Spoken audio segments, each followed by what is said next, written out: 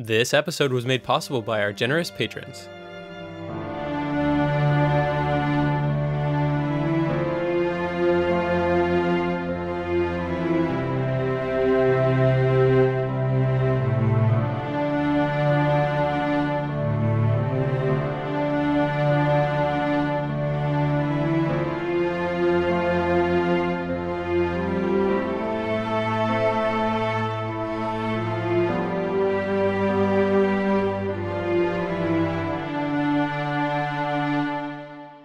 Welcome to episode 152 of the Ink to Film podcast, where we read the book. And then see the movie. I'm Luke, And I'm James. and this week we discuss Iain Reid's 2016 novel, I'm Thinking of Ending Things. So, this is going to be a tricky novel to talk about uh, in ways that don't spoil it. So, we are going to kind of do a layered discussion here. We're going to have a general chat where we address sort of the things that you might have seen in the Netflix trailer and kind of go with uh, hoping that maybe that's all you've heard, give our general reaction to it. Uh, then we'll move into a more significant spoiler warning uh, where we can talk about the rest of the book. Um, so if you are coming to this completely fresh, never seen or read um, the book, then uh, there's only going to be this starting section where you're sort of safe. Uh, but we'll let you know when, when we get to the part where you're not anymore. Yeah, very. I would say a tricky, a tricky novel to talk about. Um, more, more than it seems. Right.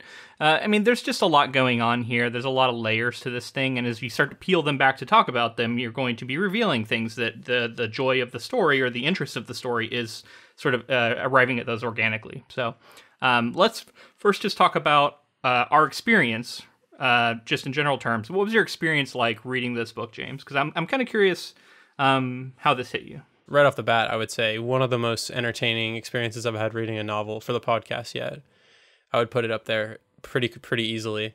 Um, it, it's so it's such a unique story to, for me, and it hit me in so, in so many of the right places.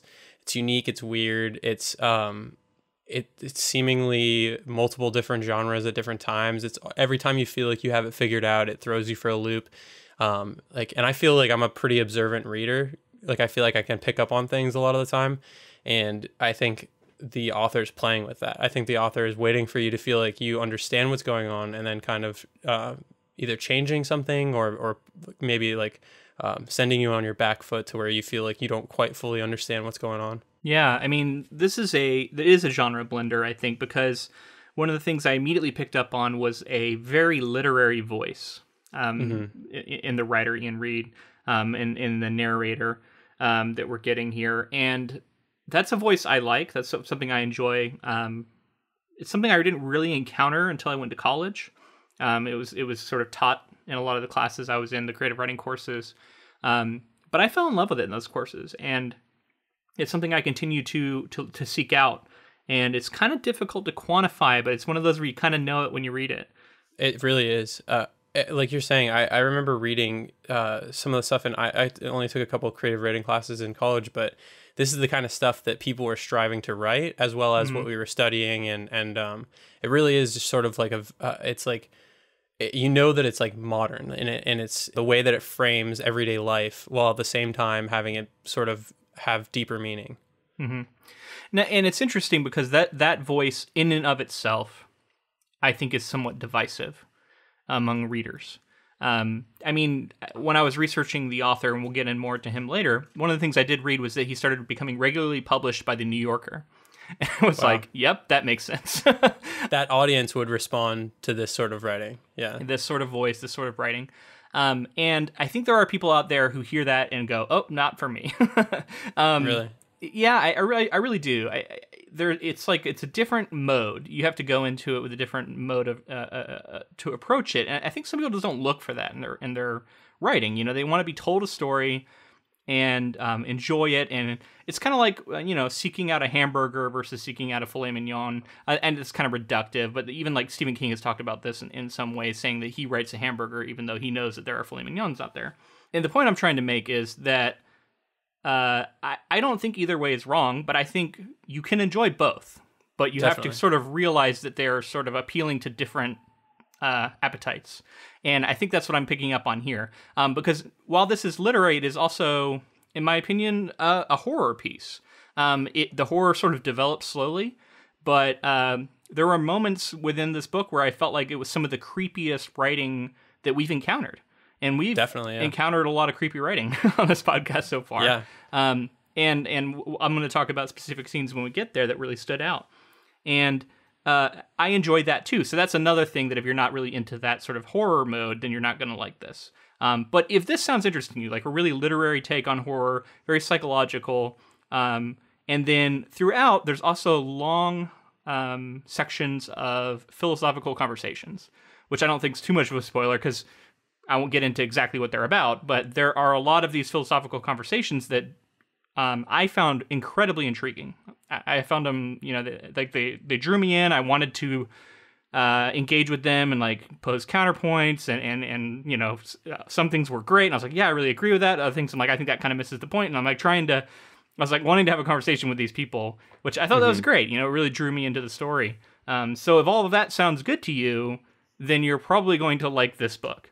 Uh, that would be my recommendation. we've said like now that sort of like the New Yorker audience would enjoy this and that this but it's really sly about the way that it's literary because I do feel like it is even when we slip when we slip into these philosophical this psychological this existentialism like all these things that are going on within conversation within like flashbacks uh, memories things like that.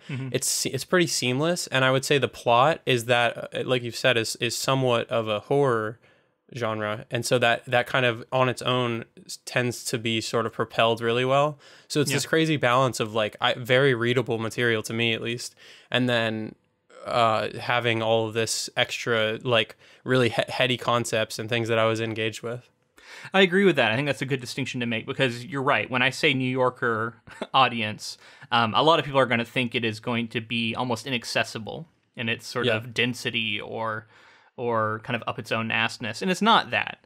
Um, it is very accessible. It is very readable and enjoyable. Uh, you know, in my opinion, um, it is just a different kind of mode of storytelling that um, there will be some people who I, I think bounce off of it.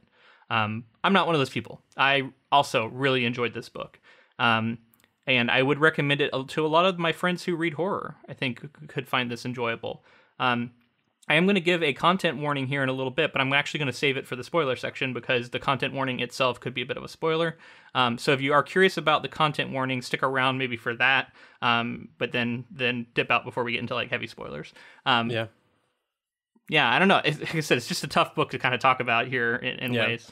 I guess another thing I would add is just like you know with with all the stuff that we're saying, you would think that this novel would be so dense and like literally very thick. Like you would think that it would be hmm. such a long story, but it's not. It's very brief. Doesn't overstay its welcome, and it's like I mean, realistically, like it's not a it's not a long book, even in comparison to a bunch of stuff we've covered on the podcast. Yeah. Um, and I think that's part of what makes it so readable. And I, I don't know, I just am really taken with it. This is the first time that I was reading through a story on for Ink to Film, reading through a story, finished, and then started reading it again. Oh, really? Yeah, I didn't get a chance to do that yet, but I kind of want to, so I could see why you would. Yeah. I didn't finish it, but I, I immediately picked it back up and started reading it again because it is it's so it's short enough to where you can really dig into a lot of the things, and there it, it is really it's it's not dense in the way that it's hard to read, but it's dense in the like the the subject matter and like the things that are there to dig into. So I started it I started over again, and um I think it's really I think like that that should be saying that something I, I recommend that people read this. It's it's definitely worth your time. Well, and I immediately picked up on. Um, I think the only other thing we've covered that has really, really hit this a similar kind of note was Denis Johnson's Jesus' Son. Um, in that Yeah. I I immediately picked up on the fact that a lot of these, uh, a lot of the prose is doing like double, triple, quadruple duty. And um, when I say that, I mean not only is it doing character, not only is it is it establishing establishing setting or plot or moving the plot or or stakes or whatever else, but it's also operating metaphorically. It's also, you know, uh, referencing something. It's all it, it, there, there's layers of meaning even in observations being made, and I immediately picked up on that. And anytime I realize that that's the kind of writing that I'm encountering, I know that it's something that that lends itself to rereads because you're going to be able to find more and pull more out of it um, when you revisit it. Um, so it, it is it is even though it is a shorter book, you're getting a lot of value there if you think of it that way because the what you have is is so rich. Yeah, I, and I mean, you would think just just from if you heard, oh, this is a shorter book, you would think like, oh, it must have, you know, it must have taken the author less time to write it. I mm. think in no way is that true, because this, the, like you said, everything is is everything is so meticulously threaded that mm-hmm. you're, you know, it's self-referential, it's referencing like topics and things that it's that it's talking about on its own uh, you know, it's a horror story that kind of I that kind of like at, at one point I felt like it was even even like questioning horror and sort of some of that kind of stuff while not being like on the surface like breaking any sort of walls or like fourth walls or anything like that. Like sort of, um, it's really interesting to the way that everything flows together and then you know things will happen that reframe your how how you felt about a scene before or something like that. Um, and it really keeps you guessing. And and to further what you were saying about the sort of um, horror elements, um, I think they were masterfully, masterfully crafted. I, I the the way that it builds throughout the book um, is very cleverly crafted, and uh, the the sort of tension and anxiety and and um, just the feeling of being creeped out um, builds on itself.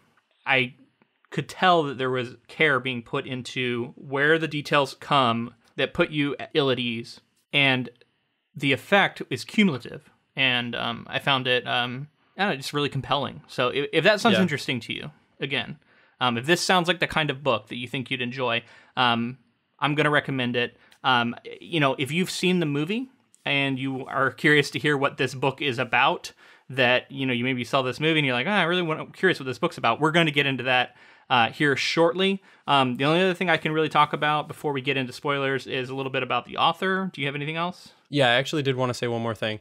Um, going into this, I watched watching the trailer.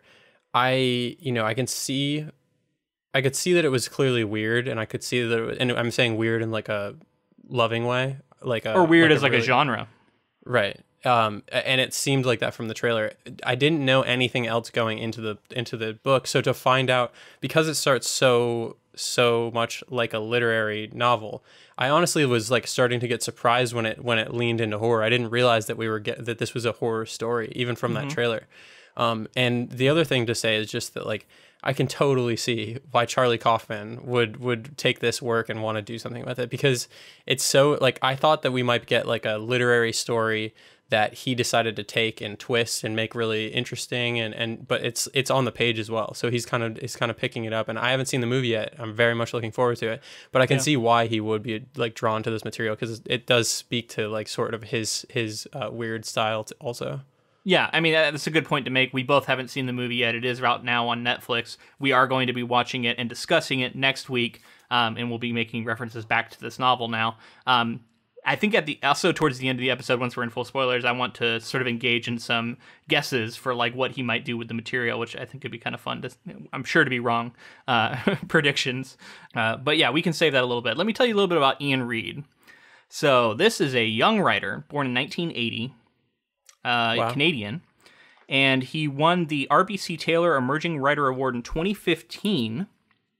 Uh, his sister Eliza Reid is the current First Lady of Iceland, making his brother-in-law uh, the current president of Iceland. wow So that's interesting. royalty almost Yeah, it doesn't really have anything to do with anything, but it's, it's an interesting note. Um, and then, yeah, he established his writing career by publishing articles and columns in national magazines and newspapers after graduating from college. He drew the attention of the National Post, garnering a weekly column assignment. In 2015, his work began appearing in The New Yorker. Reid's first memoir is titled One Bird's Choice A Year in the Life of an Overeducated, Underemployed 20 something Who Moves Back Home. Was published in 2010. And That's he awesome. followed it with uh, The Truth About Luck What I Learned on My Road Trip with Grandma in 2013. Uh, then his debut novel is I'm Thinking of Ending Things, published in 2016. And he has since published a second novel called Foe in 2018. So this is a very new writer Wow. who's really just getting started, um, which is exciting, I think. unbelievable this is somebody's first novel I, Yeah. i'm blown away that's crazy Yeah. Yeah, he was doing writing before that, you know, publishing, he had a column, publishing uh, in New Yorker and stuff. But yeah, first novel. It's definitely uh, impressive work in that in that sense. So, about this book, Reid told interviewers it took him about three years to write the book, although ideas for the story had been with him for far longer. He drew on experiences growing up on a farm in remote Ontario and traveling Canadian country roads in total darkness. Of, co- of course, it took three years because I felt like it, that was the case. Maybe not, you know, I didn't know exact timetable, but like it felt like it was something that was meticulously combed over oh, time and time again. Um, and then settings from the novel as well. It seems like like things that he drew drew- specifically drew on. Yeah. Um, that you could probably see like the seeds of, you know, a dark a dark Canadian, you know, pitch black road, something like that. Could Yeah. you can draw it's directly in the book. For adaptation news, uh, it's I'm noting here that Foe, his second novel, has already been optioned by uh, anonymous content. That's pretty cool. I mean, if it's you know if it's anything like this, or you know if it's as heady as this, or has as much you know depth to sink your teeth into, I can see why. Yeah, I'm definitely going to be keeping my eye on this on this writer, and and you know, I was taken with this book. I, I also recognize that much like Annihilation that we covered, um, it's another book that I recognize is not going to be for everybody, but it was for me, Yeah. and I felt that way about this book too. I was like, "Uh, this book's for me. I really like it, but I know a lot of people weren't. And then, sure enough, when I read the reviews, um, there are some really hot ones and some really cold ones. So, and we can get into more reasons why um, as we as we get into the spoiler section, which I think we're about ready to start getting Yeah. into. Yeah, I, I was just gonna say that's surprising. I, I am surprised because I, I felt like f- I was just blown away. I, I'm surprised to hear that specifically, like you know, the reviews of critics or the reviews of just like general audiences and Critics and users, I would say I, I read some critics, and then I saw on Goodreads right now it's sitting at about three point five, which is fairly. I mean, I guess it, it's to be it's to be expected. Some like something like this could be pretty divisive. I guess. Yeah, and it is, and we'll, we'll talk more about it. We're about to get into the spoiler section, but before we get full spoilers, I actually want to give the content warning now, which is itself a little bit of a spoiler. So if you really don't want to hear it, go out. But if you are someone who's curious about content warnings, this book deals with suicide and deals with suicide in a, a way that could be incredibly triggering for people, I think. Um, so I, I want to warn you um, if you're someone who is sensitive to that sort of thing, this book could be a huge trigger for you. Yeah, I mean, it, it does definitely deal with that, and we we are in full spoilers now. I would say this is this is the spoiler warning at this point. So if you haven't, if you if you are curious at all in the story, I would check out now. Uh, watch it, watch the movie, read the book. In this instance, read the book and then watch the movie. I would I would recommend. But uh, this is this is it. We're gonna spoil everything. So check out now. We, Yeah. At the very least, I think if you've at least seen the movie, you're probably safe to get into this part. You know what I mean? Right. Because some people aren't going to ever read the book, and that's fine. We'll, we'll talk about it. Um, but yeah, we are going to spoil everything um, that we've that we've encountered so far. I recommend the experience is what I would say. Like I, I recommend going and checking it out before hearing us talk about it because it's gonna it's not gonna be the same. I recommend check out now, go watch it, go read it, come back. Okay, I think they're fully warned.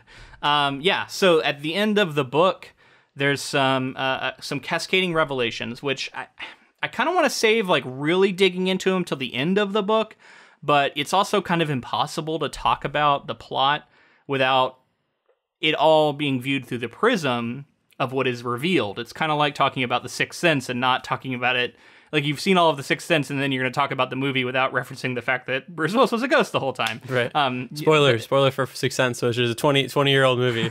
But uh, Which it's also like the most famous movie spoiler. I feel like at this point, Right. like if you ever heard one before, it's probably that one.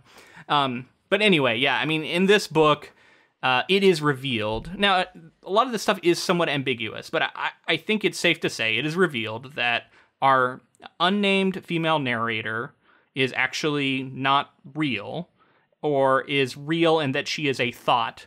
She is a thought of Jake, who is maybe the real I guess he's the real person.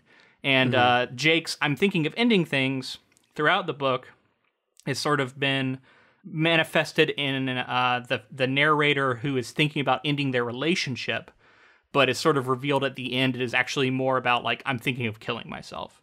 Um, the his relationship represents like life to him, uh, the relationship that they're having. And when he says I'm thinking of ending things and he decides to end things, he decides to commit suicide. In my reading of it at least. yeah, I mean, I agree with you. I think the way that we're going to attempt to cover this is like we're going to try, like Luke was saying, we're going to try to give you sort of our what we initially thought reading through the sections, and then Yeah. also after that sort of half section, we'll give you our posts, knowing that uh, everything was Jake the whole time. Uh, thoughts on the situation. Um, I wanted to ask you with the title because I know I know where I what I when I read the title, I'm like, okay, it's triggering something in my mind. What what was it for you? oh yeah, I thought it was about suicide. Okay, yeah, me too. So, so, too. but I, I assume some people are gonna see it and think like, oh, it's because of the trailer and because of some other things that it could be what on the surface it seems like it is, which is like a breakup or Yeah. like contemplating a breakup. Well, it, the book treats it as if that is what it's about throughout until you get to the end. Um, so I, I kind of came in going like, oh, I thought it was about this one thing, but now it's about this other thing. But then I also knew that like this is such a layered book that it was probably going to be both. Um, was my suspicion all along, and then that ended up becoming true. Okay, so to that end, I'm actually going to launch into plot here quickly, um, and then we can start talking about it in in chunks. So the story is narrated by Jake's girlfriend of only a few months. They met in a pub during college trivia night, and Jake gave her his phone number by writing it on a piece of paper and slipping it to her into her bag. Several weeks later, he takes her to meet his parents on their remote farm. She has considered ending things, but has not told him yet. It is a long drive, and they engage in lengthy philosophical discussions. Okay, so that covers about a third of the book at least in the opening there. That is the setup.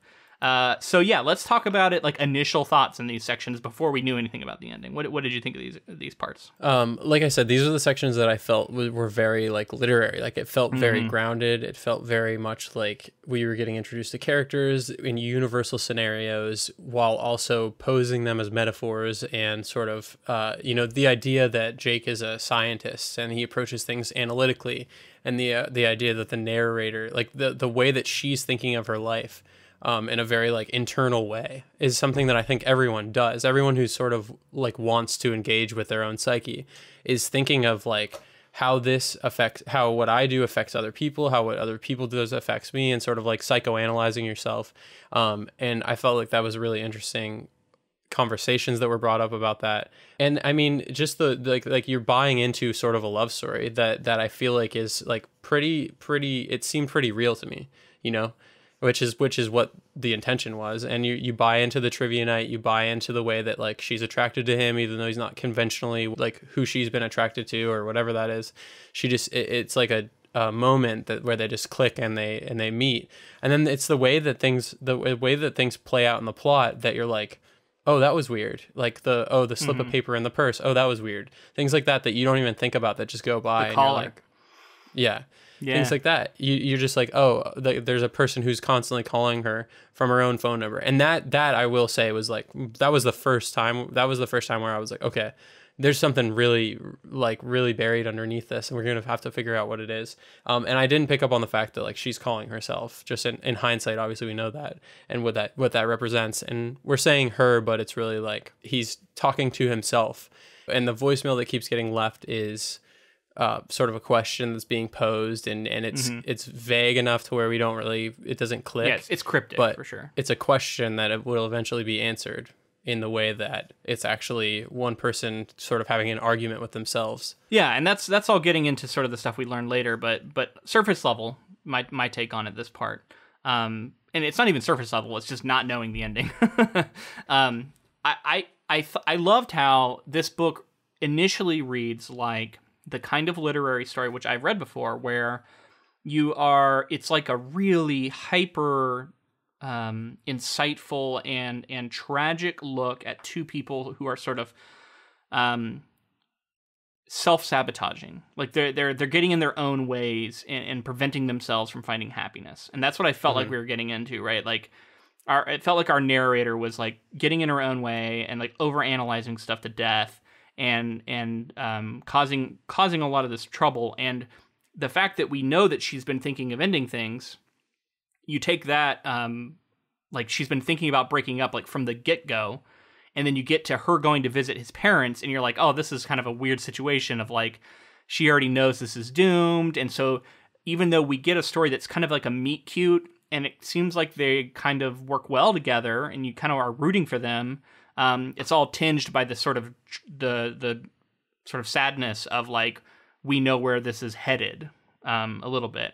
And, and and then that's kind of that's kind of a switch, right? Like it's kind of like that's what you think is happening, but then there's this element of the caller, and then uh, eventually we also get introduced to these two unknown speakers who are referencing some sort of crime that has taken place um, that, that we don't know what they're talking about. And those two things combine to to add like a lot of layer of creepiness. Oh, and the like night terror, weird dream of the the man Yeah. standing at the window slash memory of childhood. which is where which is where horror really came into effect like that's where horror really started to sort of it was haunting the story it was literally like a horrifying thing that happened Yeah. and i was like is this going to turn like partially true crime-ish where it's like something because i got we were getting the police procedural sort of like investigation thing that was going on and we're getting somebody creeping in the window and i was like is this going to take on that you mean like crime fiction? Not, I wouldn't really crime call it fiction true crime. sorry yeah, yeah. true crime would be like actually something that happened Something yeah, so- actually happened. Yeah. yeah. Uh, so I also had like sort of a reading of the beginning of a universal scenario where people stay in relationships that they know are doomed because Hmm. Yeah. it's more comfortable to stay in that relationship. It's more you're you you know you stay with what you know. It's harder to do the different thing,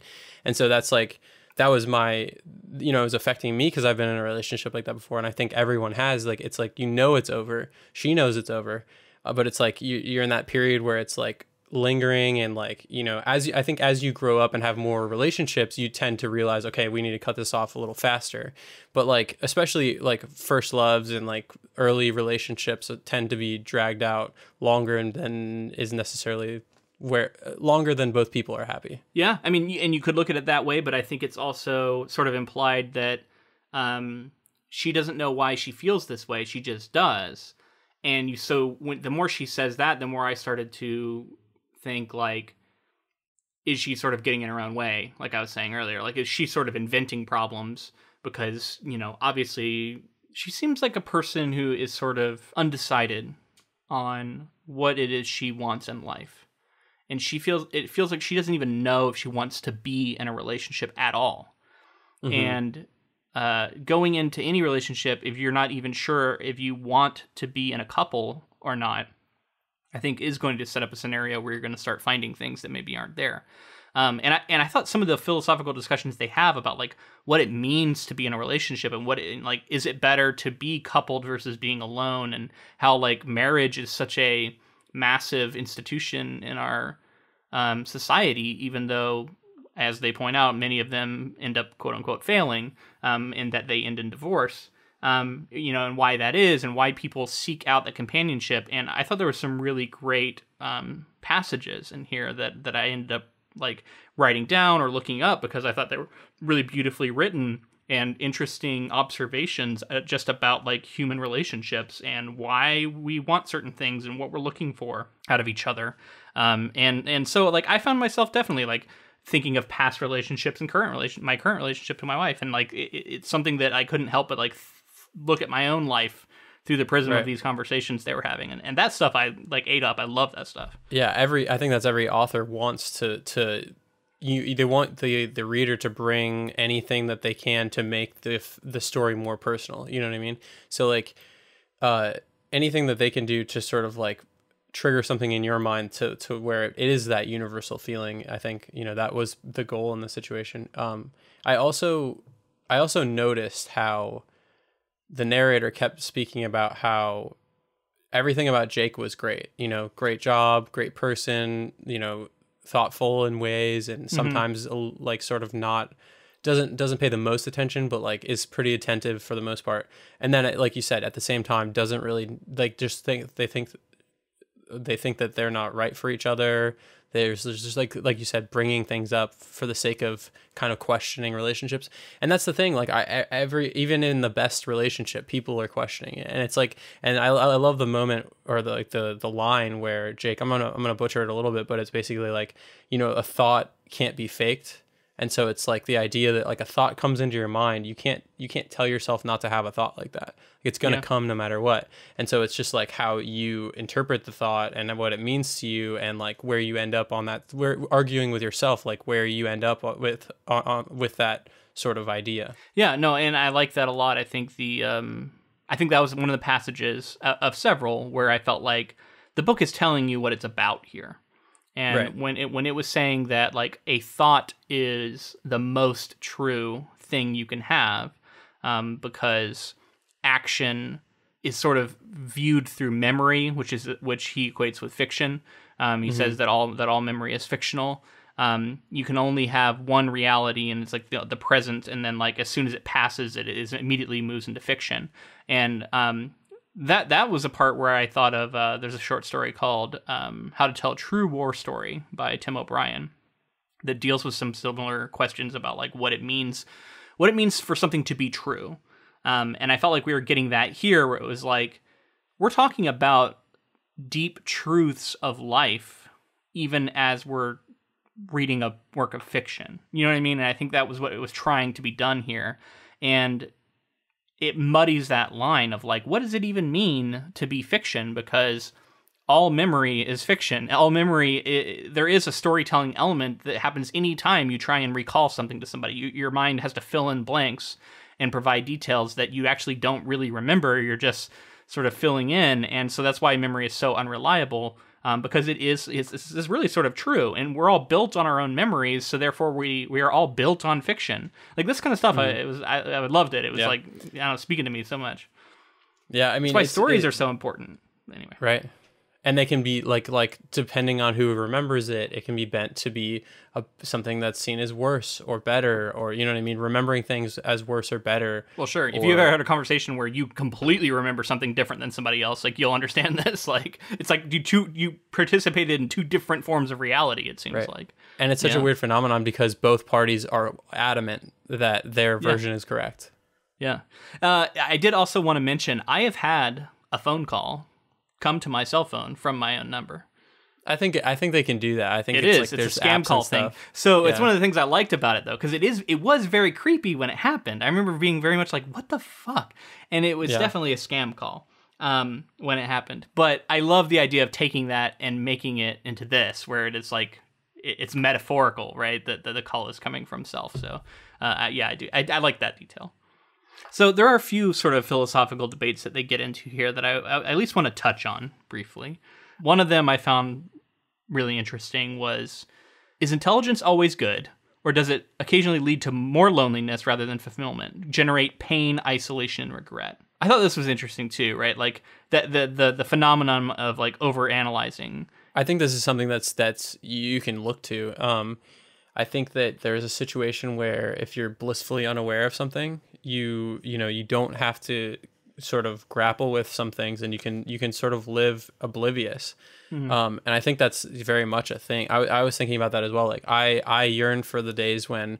Uh, and, and you know I, I know that it's important and i know that like i was just very privileged but i yearn for the days when politics weren't the like constantly in the forefront of my mind and it's because i was blissfully unaware and i was privileged um but you, you know those just the it's because it creates so much tension and stress in my life and i'm constantly having to grapple with it i think in that way knowing more has now made it so that it's like a little harder for me to you know it's it's creating stress in my life whereas when i was younger it didn't necessarily and uh, again i just want to say because i know that sounds as a very privileged s- stance to have and i know that like wanting that i don't actually want it. I just think about how much you know how much easier it was then. But clearly there are things worth fighting for right now and i'm very much invested in those things. I think you're touching on why it can be so hard to break people out of that cycle right? Like because people hold on to that like blissful like they, they look back at like oh i never cared about this when i was younger so i don't want to care about it now and i'm going to refuse to. Um, Yeah. so so i think that's just being honest with with you know the situation especially of being a white person in america. Um, yeah so you know, I, I totally I totally get what you're saying there. So I do want to read one quote here that is all about like relationships, and um, you wouldn't think that this like horror novel, um, you know, about so many other things would be this sort of um, observational about relationships, but it really gets into some some really interesting stuff. So I want to read this one as an example. There are many others I could read, uh, but this one in particular spoke to me. I think what I want is for someone to know me, really know me, know me better than anyone else and maybe even me. Isn't that why we commit to another? It's not for sex. If it were for sex, we wouldn't we wouldn't marry one person. We'd just keep finding new partners. We commit for many reasons, I know, but the more I think about it, the more I think long-term relationships are for getting to know someone. I want someone to know me, really know me, almost like that person could get into my head. What would that feel like to have access, to know what it's like in someone else's head, to rely on someone, have him rely on you? That's not a biological connection like the one between parents and children. This kind of relationship would be chosen. It would be something cooler, harder to achieve than one built on biology and shared genetics. I think that's it. Maybe that's how we know when a relationship is real. When someone else previously unconnected to us knows us in a way we never thought or believed possible. So that quote really spoke to me because I, I do think there is a large, tr- there is a truth to that, like that that desire to be seen and understood by somebody who doesn't have to do it, who isn't biologically yeah. connected to you, like a, a, stranger who can come to know you. Because um, I'm someone who's been sort of a serial monogamous in my life. Like a, a I've been in a bunch of different long term relationships. Um, right. Maybe not a bunch, but several. Um, but mm-hmm. always long term. Like I didn't do a lot of like short term stuff. And I think it's because I was chasing this sort of feeling. Like I, I, I wanted that sort of deeper, meaningful connection, and I, I found it with my wife. Um, and this this was a this was said in a way that seemed more explicit and more true than a lot of the other things I've read about it. I guess it does. It's it's what's harder again you know what i mean it's the harder thing to do to get to to build a relationship and there's so many variables that can come into play that can that can mess that up but if you can if you can brave all of those things then you get into a you get to a threshold where someone knows you better than you know yourself basically and yeah. that you know i think that is what people are seeking is is sort of like someone who can look at you like a mirror and say like these are the things that you know you know what i mean and just like know what you're thinking like look like know your faults know your know your strengths and things like that and sort of play off them and you like um create like a mutually beneficial uh situation for both parties like emotionally and and mm-hmm. you know i think that's what that's what that really the core of what that's getting to within the book he also provides the counter argument um, and and is given equal weight, and that is you can't ever really know someone. It's impossible for even people who've been married their entire lives to truly know someone else's mind. You just can't do it. Um, there's always a barrier there um, because, and that's where it leads to the argument about thought being the most authentic, true thing. Um, because it can't be shared. As soon as you put it into words, it is being changed and sort of filtered in a way. Um, it, mm-hmm. But when it's in your mind, it is it is really true. And he puts points out anyone can think anything, and yeah, I mean that's it's a great observation. And so like chasing it is almost chasing an impossibility, right? And it's like, yeah. is that still worth it? Because that's the question that's being presented over and over again. Is it worth it to do that? And I know, think we see with society that like it's worth trying. You know what I mean? Even if you don't attain well, it. A lot of people believe so. Yeah. Okay, so let's do a little more plot here. The evening with Jake's parents turns out to be unpleasant and scary. They ask her awkward questions, and she sees unsettling things, like a picture of Jake as a child that looks as if it could be her. During the long drive home, Jake decides to stop for, quote, something sweet at a Dairy Queen. The narrator is, is exhausted and wants to get home, but reluctantly agrees. She recognizes one of the girls that works at the Dairy Queen, but can't pinpoint why. Jake then wants to dispose of the cups from their iced drinks at a nearby high school. It is snowing in the middle of the night, and the school is deserted. After disposing of the cups, he starts making out with her in the front of the school, but stops when he sees the janitor watching him from one of the win- windows. Furious, Jake leaves her alone in the car and enters the school building in front to confront him. Furious, Jake leaves her alone in the car and enters the school building to confront him. Okay, so that's a massive that's like takes us almost to the very end. But um, let's talk about we got to talk about visiting the parents because I, I found this section may, like one of the most engaging parts. I think was all the stuff yeah. in the house for me. Yeah, I mean, uh, super creepy. You don't yeah. know what's going on. You cannot figure out what's going on. Um, and I can't. I know you haven't seen this, but I can't help but make the reference. It, it was so. It reminded me so much of Get Out, and like okay, you're just gonna call me out like, like that that I haven't seen Get Out yet. Uh, no, I haven't seen it yet. I need to see well, it. I, just I really want I, to. We've talked about it. We're, we're gonna see it. Yeah, you're gonna see it eventually. But I um I just I, did, I didn't. It's not really a spoiler to say that it's from the trailer. Mm-hmm. You would mm-hmm. you would know. So, but it, it, just was very much like sort of in the same th- in the same vein of like going to see parents and and that kind yeah. of thing. Well, and and that all spoke to me too because I think all of us. It's another like hyper um relatable story, right? Like first off just going home after a long time being away the way it dredges up old bad memories and then also like uh, bringing someone to introduce them to your parents or being someone who's being introduced to someone's Yeah. parents uh, all of that at- con- yeah. comes together in a way that is super relatable but at the same time there's so much more going on beneath the surface uh, which we learn later And I think something that kind of gets brought up is this idea of you going back home and you seeing your own sort of upbringing and everything through fresh eyes because you're with that person. You're sort of like th- s- thinking, what are they thinking, seeing all of this? Yeah. And so you're able to like look at, you're uh, almost able to look more objectively at like your life, where you're from, the people that you grew up with, the sort of events that, you know, pictures and things like that, like take on different meanings. And it's really interesting how there's some of that being said here. Yeah, and uh, before we get into sort of looking at IT from the end view vantage point, which I just changes everything, um, I just want to say there the section where she goes into the basement.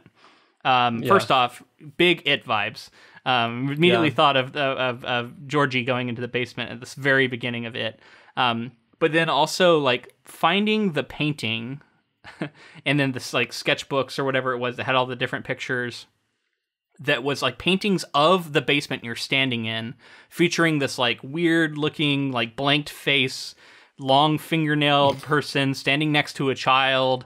Uh, it's so creepy. Like this is one of the creepiest sections of like anything we've read Yeah. so far, in my opinion. That that part in particular really got me.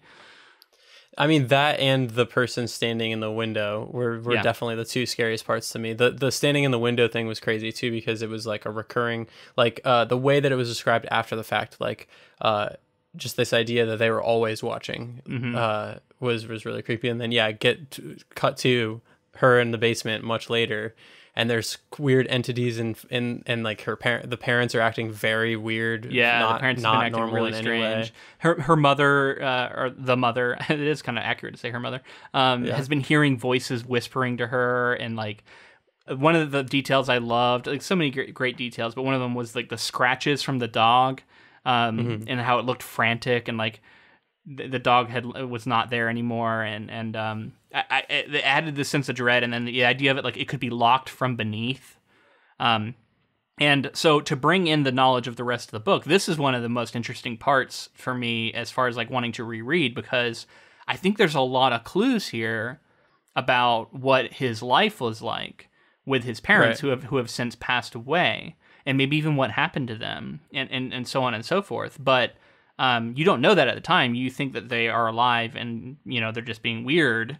Um, but you know, I thought like the mother was putting on appearances because she kept cha- she like changed her clothes and she was wearing heavy makeup. So I was like, oh, she's she's the kind of person who like is hiding what's actually going on with her and like is just putting on a happy face and like that kind of stuff. Um, but then of course we learned later that no, they're actually dead. So this is like a memory of them. Um, and then viewed through that lens, and it's also a memory of like what it was like to grow up in this house. Um, I think we're we're we're getting insight into a very disturbing kind of dark childhood for Jake here. And I mean, and it just all loops back around to the idea of being alone because we learned that we learned that this character Jake is alone in this house where you know still dealing with the ghosts of his parents, um, yeah. and you know having to be alone and deal with that, and then sort of, uh, you know, this whole this whole relationship was was sort of like a it, it's not even like almost it's not even like a figment of his imagination, but it kind of also is is like an argument being had at the same time. Yeah. It's because it's it's not as simplified as like oh it's sort of like a psychological like um schizophrenic thing right it's not that's not really what's going on it's multiple sort of more personality, like a, dissociative identity Yeah. disorder, that sort of thing. Um, yeah, I, I, I want to save that for the very end when we get into the reveal, because I do want to talk about Okay. that that part of it um, in particular. But but yes, I mean some of this stuff's going on um, for sure. So there's a couple parts here that I also want to like. There was the moment where she, uh, the mother asks, says, "Let's play a game," and they start. And, and she asks um, our, our narrator to to imitate Jake, and I was so uncomfortable. Like I felt like it was, it was just so like, uh, oh man, it was such, it was so awful. And then like he, the, he imitates her back, but then like now we know what what is actually going on here. But even just on the surface, it was a very cringy moment because it was like this. This is like clearly a terrible game to play, especially in this setting. And Yeah, it's it, fe- It felt so mean spirited. You know, right you know, it's like let's all laugh at at at, at Jake. Um, and I, slash you could tell laugh he at was, her also laugh at the narrator it seemed like so i felt equally yeah weird about that on both ends Yeah. I mean, yeah, there were so many cool ways that he would like sort of bend reality a little bit. And that was one of the things I said is I felt like this was a book where reality was being bent ever so slightly um, in in pursuit of chasing a deeper truth. But it's maybe even more than that by the time we get to the end. I felt like it was it was maybe more subtle, like we were getting subtle bends in reality to get at a deeper truth.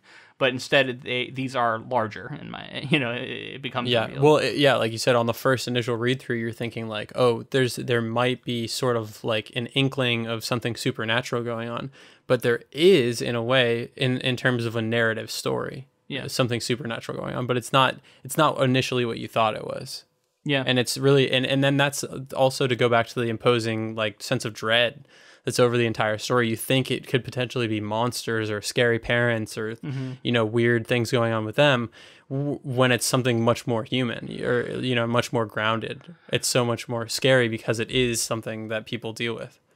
Yeah, I um I was at about the halfway point when I wrote down that my theory is that Jake is the same person as her. I said she has no job, she has no parents that we can see, and she seems like a different part of of oneself, um, almost another part of the mind to Jake's sort of rationality. Um, she seemed more philosophical and and and and sort of like an opposing view, arguing with itself. So I felt like her. I thought her and Jake were the same, or maybe the same person, about halfway through the book. So one of the things I want to get into, and, and as we move into this final section, is the reveal that they're the same person, and not only that, but also that I think multiple people are all wrapped up in Jake. The parents essentially are memories or par- par- maybe parts of him. Um, this janitor, this other man who stands at the window, all seems to be the same person who seems to be a facet of Jake's personality. I think this, I think, I think th- this is the explanation for the bad ratings, uh, for why some people are going to bounce really hard off of this book. Because I, as someone who has written stories in early early days of my creative writing where there was sort of a twist ending um, and and certainly we we've observed a lot of those in pop culture i think the appetite for them has faded pretty quickly after like fight club after after um, you know sixth sense i wouldn't say too many just in case people haven't seen some stuff but yeah like those two Okay, I mean those are two Yeah. massive ones. Yeah, I won't list any others. There's a few others out there. It was it was it was sort of notable and cool when it happened, but then I think everybody kind of said like, okay, I've seen that now. Let's not do that again because it, it- I think a lot of people feel like it's cheap. Like they feel like that it undercuts the story they just read. It's not satisfying. It's sort of the it's it was all a dream uh ending where it's like it, it totally t- takes everything you thought you were reading as as reality and makes it seem like it wasn't. And so I think a lot of people hit that ending in this book, um, which we're about to get to, and um, a lot of people are just going to bounce off of it. Yeah, I, I would say just my my own personal feelings on it. Like I understand the exhaustion of using that as a as a narrative device, but in this scenario, I don't agree for sure because because of the level of detail that's been that's been threaded into the story, and the amount of like readabil- rereadability that's in it, and like we've talked about all the philosophical elements that are being talked about. Because you can go back and view every single thing, and I know you can do this with every twist ending, but you can view that you can view existential, psychological theoretical science, like philosophy, all this stuff, you can view those things from two different lenses now Yeah. in, in those parts. And so like I just think it's like the mass I think this is the best version of something like that that you can get. So like yeah, if you hate twist endings, you might hate it all the Yeah. way. But I think that it's it's a better like one of the best versions of that kind of story that you're gonna get. So I have another defense of it, but I'm going to save it. Let's let's read the final section here so we can get into like what actually happens. So after a long wait in the cold car, Jake's girlfriend, scared and worried, goes looking for him. She searches long corridors in the main building, then realizes she is being followed. Believing it to be the janitor, she tries to hide and quickly gets lost. Jake's girlfriend relives traumatic childhood experiences of a neighbor visiting her mother and threatening to take her away. She is terrified and wishes she had ended things with Jake. Then she remembers where the gym is, even though she has never been to the school before. She makes her way there, hoping to find a way out, but becomes confused as to who she is. She starts to physically deteriorate and is unable to see herself separate from Jake. After a while, she discovers that she and Jake are the same person. They make their way to the janitor's room and climb in the closet. Jake becomes the narrator and recalls how he wished he had given her his phone number that trivia night at the pub, but was too shy. He hoped to meet her again, but that never happened. So he wrote about her. He had to make it real. The janitor finds them in his room. He gives her a metal clothes hanger from the closet and says, quote, I'm thinking of ending things. She agrees, straightens the hanger out, and stabs herself in the neck with the sharp end. As she bleeds out, he says, A single unit, back to one. Me, only me. Jake, alone again.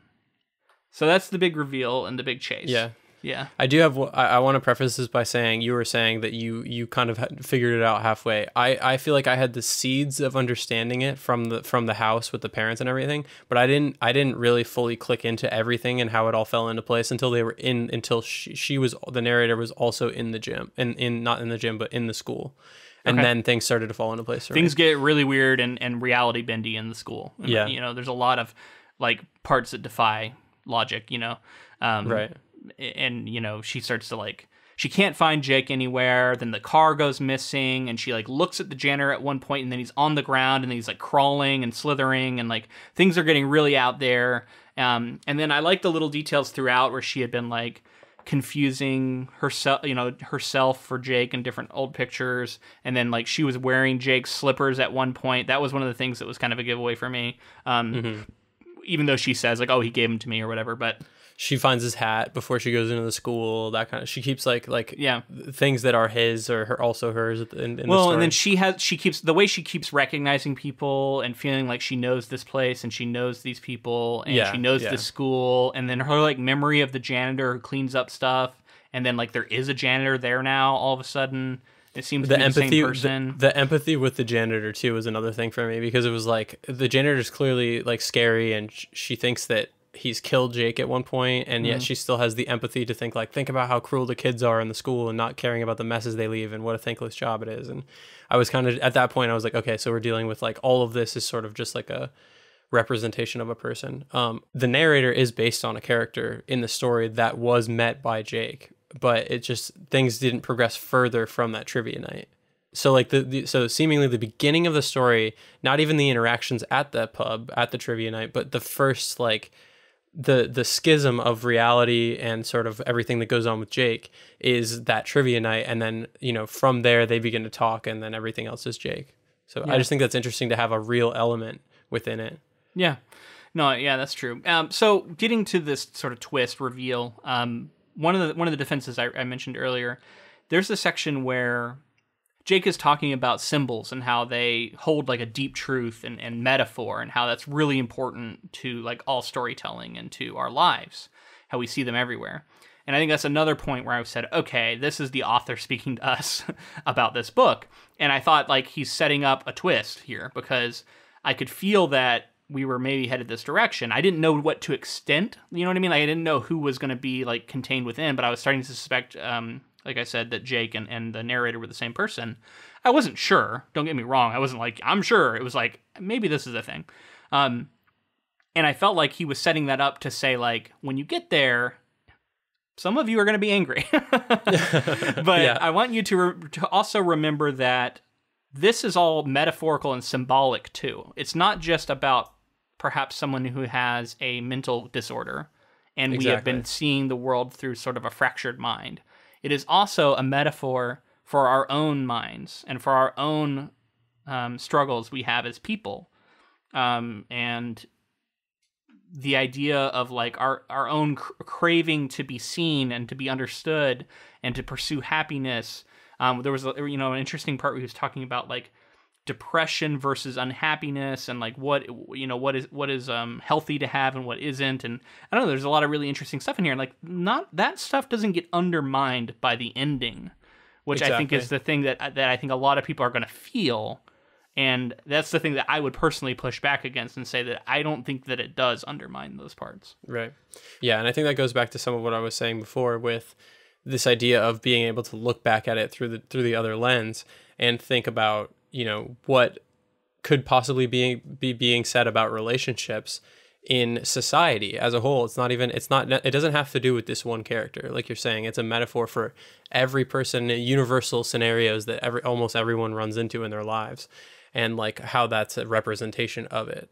So this is also where the janitor, and he's sort of the embodiment of this creeping dread in some ways, um, arrives and hands the uh, hanger to Jake to kill himself.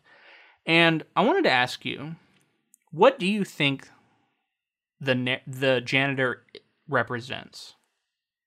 And is he just a just a part of Jake's own personality, or is he something else?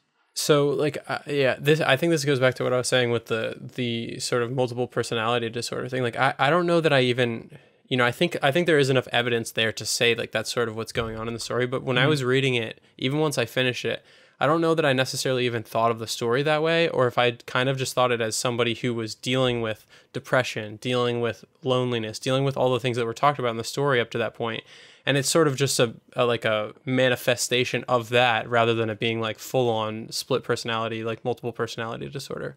Um, and so like I don't know that like I think metaphorically he could represent like his depression or his like his like he he may represent the actual actionable sort of part of him that that is like going to be the thing that kills him whereas like the conversations being had by two parties one that's saying i'm thinking about doing it and one that's saying like but what about life mm-hmm. and then he kind of just represents the end of that like he like he's a part of him that's like once the decision's made like yeah. i'll execute i'll be the one to make sure that we go the we as the as jake will go through with this yeah and it's interesting because when we get the descriptions of what Jake is like in his life. It seems to be a blend between the Jake character and then this janitor character, right? Because Jake works as this janitor. Um, so in some ways, like this is this is like closer to maybe what Jake is really like. Um, to me, he was the darkest element of his psyche um, manifested, and I think this is the sort of trauma that is hinted at of ch- from childhood. Um, this is the suicidal ideation. This is like the darkest elements, and they uh, manifest and hand him the this sort of utensil. So it's it's well, interesting it, because there, it almost feels like this book is glorifying suicide in a way. Um, but I think it is, it is just actually an incredibly tragic ending. Um, I, yeah. I, I didn't think this was something that we we don't I don't think we should agree, and I don't think we do agree with um, what Jake decides to do at the end. Um, because mm-hmm. the ultimate question is revealed to be whether or not to go on. And it's said that this is the question that all living people are asking themselves every moment of every day. Do I continue or do I let it stop? And he decides here to let it stop. Yeah, I definitely agree. I don't think it's glorification. I think it's I think it's a representation of what I think it's, it's for us to empathize with people who are going through things mm-hmm. that we maybe are not and it's like the like the I you know the lingering the the man in the window every night or whatever that's depression you know what I mean yeah like well that's why it's so creepy right always like, there. always there yeah exactly watching so you, like yeah. I don't I definitely don't think this is saying like yeah. suicide is something to I mean be, he's you know, yeah. he's literally chased him into a closet and he's hiding from him so right. I I think this is the villain of this book this is the antagonist this is the the evil manifested um, so yeah, in that sense, I don't think it does. But I, I think there are people who could read this and say that it does. Um, I, I can see that reading, uh, and so I, am just trying to understand like where some of these negative um, reviews are coming from and some of the net- negative reception. Does you know? It's just my theory. I've only read some, and and they touch on some different things. One thing I did see that I thought was interesting. Hannah Pittard wrote in a review for the New York Times that she felt the novel's quote bait and switch tactic interspacing Jake and girlfriend narrative with a commentary between two strangers about an unspecified tragedy to be too gimmicky. She also felt that Reid's story was a little too non diegetic, and the narrator withholds too much from the reader. Pittard expressed her disappointment at the book's big reveal at the end, saying it too hastily disposes of unexplained and unnecessary red herrings, and the revelation is at once too tidy and too convenient to be satisfying. Um, so that was one of the, the, the negative ones. I'll read one of the positive ones too, just to provide the sort of back and forth. Um, in the Chicago Tribune, Lloyd Sachs described "I'm Thinking of Ending Things" as the boldest and most original literary thr- thriller to appear in some time. He called Reid a master of tension, and that despite the book's philosophic weight, he pulls it off. Sachs recommended rereading the book, saying that with its deep enigmas and dense psychological space the characters uh, are traveling through, it remains as full of dark surprises as your friendly neighborhood black hole. So y you get there are both sides of this, right? There are people who found it gimmicky and got frustrated, and then there are people who who are talking about some of the things that we are talking about. I, I think we're we kind of agree more with the former. It seems like Yeah, the latter, right? The last one you read. yes, the latter. Thank you. The one, I- the last one I read. Uh, I mean, and I understand that it's a subjective thing. You know, like people are going to feel differently about it, and maybe, you know, it, it just like reading it at the wrong time, or maybe you've read too many of these stories. Like I, I don't know. It, for me, it just it landed it landed really really positive. Yeah, I agree with that. One one uh, sort of device that's used that I really liked was the uh, the mother handing her the portrait and saying, "Look at this when you arrive." I think something like that it said, and then I, it was sort of the uh, this outstanding, you know, Chekhov's gun kind of deal where it's like you knew it was going to come back at the end, and it does, and, and it does in sort of this moment of revelation where it's a portrait of her, but it's her, and it shows that she is a piece of Jake and that they're all sort of the same person. Um, I thought that was cleverly set up, and the execution um, really landed for me. And, and it, it, again, it all comes together and reveals this this cool twist mean- I, I wonder, like, do you think that it's like M Night Shyamalan and like some weird? Because I feel like a lot of people have just started to associate this sort of ending with him. And they've gotten really tired of it, and so they, it- you know what I mean. Like, I, I feel like it's like we're almost we're almost hypersensitive to a point where, like, Yeah. as soon as you feel like you've been duped in some way, you're like, God damn it, it's another M Night Shyamalan movie. yeah. So this is how I feel about it. I think obviously M Night Shyamalan was was a master of doing this, and I think people yeah did get did get sick of it. Sixth Sense is generally a good movie, in my opinion. Yeah, I think it, I think that people did get sick of it, but I I like uh, Uh, like there was a there was a movie that came out called The Visit that is kind of like M. Night Shyamalan returning to like yes some twists and turns and that kind of thing, but I I think I enjoyed that Shyamalan movie because it was sort of a return to his his usual plot twist, and I think that like the you know the ending plot twist being his sort of trademark is is definitely detrimental to his career because if if I think you get you get one or two right, and then it becomes like sort of your thing. It'd be like if if um, imagine Rian Johnson continued to only direct like who done it mystery movies for the Yeah. rest of his career. You know, Yeah. like I, I think like as a filmmaker, you want to sort of try. I know people have styles and things they lean into, but like narratively change change up what he's doing. And I think if he had done that a little more through his career, people would look a lot more fondly on some of his movies. And I do agree that like like as time went on, he the movies weren't quite as good. In in in addition to the fact that they were twist ending. So Yeah, You know. that didn't help. One other question that comes, and it's it is sort of um, front loaded with this horrific metaphor that we get, where they talk about these pigs who were like sick, and then come to find out they actually had like maggots in them, which is Yeah. super gross.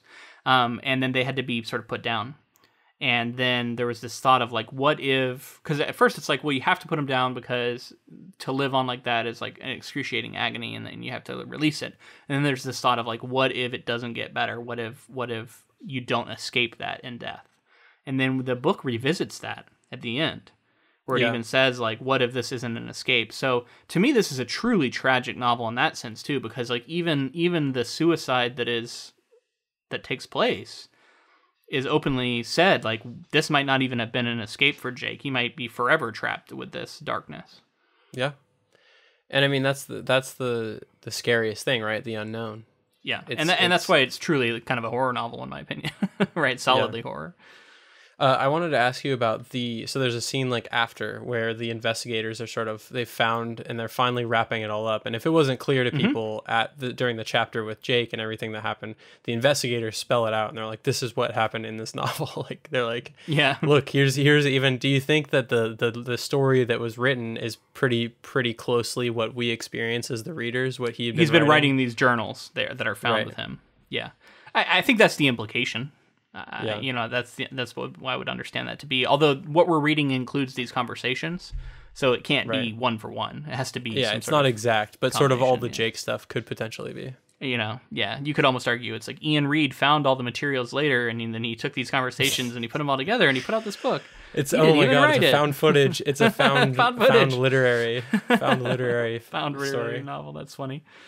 So yeah, I mean, there's lots of like more philosophical stuff we could get into. Um, I, I assume we're going to revisit some of this stuff with with the movie, you know, because I'm, I'm some of this has got to make it on the screen. Um, so maybe we'll be able to circle back and talk about certain things. Um, I did want to ask you before we end. What do we think Charlie Kaufman is going to do with this story? Because uh, I want to remind everybody this is the man who made Adaptation, which I know we haven't covered yet on the podcast, but it is all about the sort of futility and and challenge and and and just maddening nature of trying to adapt a book into a movie. And it, that book goes wild places in, in pursuit of this idea. And that i'm sorry that film does. Well, the movie, Um, yeah. yeah and then so now i'm looking at this and going like okay now kaufman's going to try and adapt this book. He's got to change stuff right? Like uh, that's my guess. I, I, do, I don't I think in no way are we going to see things play out one like in in the same way. I don't think it's possible, and I don't think it's really it's not Kaufman's style really. I don't Right. think that's really he's he's a very like we've like with an adaptation you can see how he feels about adaptation, and I think you can sort of like break into his as an artist like adapting a work how he feels about it. So it's going to be really interesting. Like once we cover adaptation, which is an, sort of an outstanding thing we'll eventually do. We've talked about we- Yeah. we, with the con, we've been talking about it since the beginning yeah yeah with the with from the beginning we've been talking about how cool that would be um so but i mean kaufman's such an amazing filmmaker very unique voice he does things that are always unexpected so to try i think it's futile to try to predict what he's going to do but my prediction would be that it's not going to be what's exactly in the book Okay, so I'll, I'll go a little further in my prediction. I think because I, I- guess I wasn't expecting this novel to sort of give us the answers it gave us. I thought one of the reasons it was because I saw the lower Goodreads scores on there pretty early on, and I thought, hmm, I wonder what, what's going on with that. And I thought the reason was going to be that we were going to be left with a completely ambiguous ending. And um, Iain Reid says that he intended the ending to be ambiguous. I, I'd be curious to know what he means by that. Um, but for me, I was surprised we got the answers we did. Uh, um, and I think that it's going to be more ambiguous in Kaufman's Yeah. version. I think it- it- we are Well- going to get less evidence that it was definitely the same person, that the janitor wasn't an actual separate entity. I think a lot of these are going to be more open questions in the film. That's that's my guess, and that it's going to be more of that like bent reality to to sort of uh, get at a deeper truth. Um, but when you start asking like what actually happened, it's going to be very difficult to pin it down. I mean, you're you're looking at the mediums now. We're looking at the mediums, like we've talked about Yeah. countless times. How this is such an internal story, and how do you tell internal stories in film without having it without it being a full on narrative like narration film? Um, is it's all visual, so like it's going to be fully up to. It's like it's like interpreting a painting. That's what I feel like this Kaufman film is going to be like. It's going to be looking at something, and it's going to be up to us to sort of sort of understand and and see what's going on, which you know I appreciate in in a lot of films. So Yeah. uh, it's going to be one of those situations where it's a lot of interpretation. Yeah. is, like you're saying. I, I think that's that's to your point. Yeah, it's like you know, I think you know it's funny because like modern art gets like a really bad rap. I feel like a lot of people shit on it. They're like it, it- it's sort of equated to bad art, um, and I Mm-hmm. just disagree with that.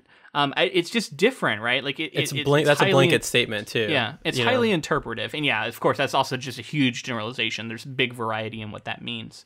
Um, but a lot of a lot of you know there there's certain kinds of art that are all about Im- impressions and about seeking out deeper meanings and bringing yourself to the work. Like the person who's viewing it views a lot of it, and I think we're going to get more of that in the film. I agree. Like I think there's going to be more interpretation. There's going to be or more things that are open for interpretation, and um, probably a lot of confusion out there. Um, but one of the other cool things is that you can, I think the book it probably provides a lot of answers. So um, maybe if you've seen the movie and you, and, uh, and you come back and you listen to this, maybe this is helping you in some ways put put some pieces together. Again, we don't know for certain; we haven't seen it yet, but we will be back next week to watch that film and discuss it. Um, I'm really excited about this. I'm a big fan Can't of wait. Charlie Kaufman, um, Yeah. and I, I'm really interested to see what he does with this material for sure. Yeah, I can't wait. I like like I said, I had so much fun with this. This is one of my favorite books that we've read for the podcast. Nice. Just as a f- this initial experience, I've really loved, and like to s- so now to know that like the adaptation is in the hands of somebody like Charlie Kaufman, I can't wait to see. Yeah.